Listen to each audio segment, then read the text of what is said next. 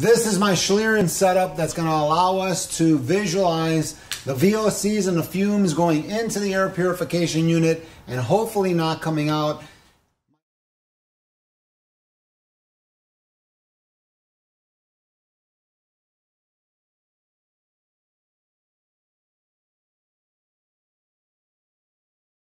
I've now turned the air purifier around to get the outlet, which is located right here, and it kind of shoots upward right in front of our Schlieren setup.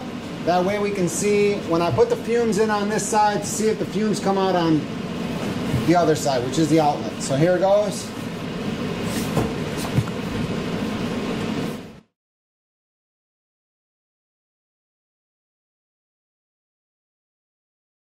As you can see, the air purifier ingested all of the fumes, but there was nothing coming out. Even with the high-speed footage, you couldn't see not even a little bit of fumes coming out of the outlet. And another thing I found really interesting is that with the gas fumes, normally when you open a can of gas, you just start smelling it right away. And with the gas fumes, we really couldn't smell any gas at all. It's test time. So what we have here is a airtight tent right here where air can't get in and air can't get out.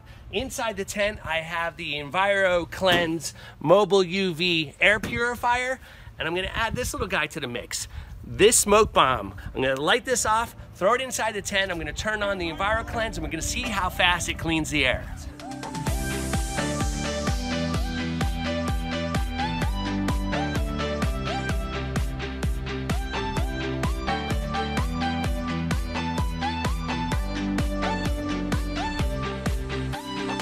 Look closely, you can see the air circulating like crazy inside of this chamber and the smoke is clearing out really quickly. This video is not sped up, it literally swallowed every one of these bursts in just a couple of minutes.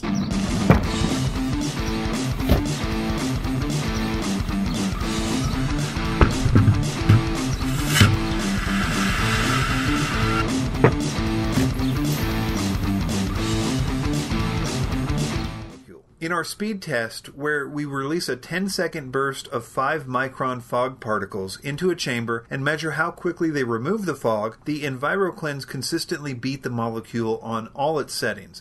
The Molekule was 71% slower than the EnviroKlenz on high power, despite having a faster airflow. And in case you're wondering how long the fog would stay in the chamber if no air purifier was running, I'm not sure, but I do know that after 10 minutes it remains basically unchanged, so more than enough time for our purposes. Some of the dust from the garage, and then whoosh, throw it right in there.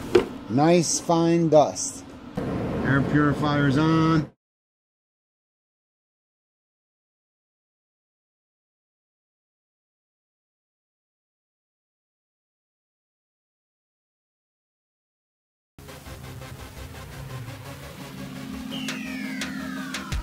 The thing I like about the EnviroKlenz is that it's purely a beast of function. These nicer looking units are sort of like a new Kia. They look good, but just good enough to not be ugly.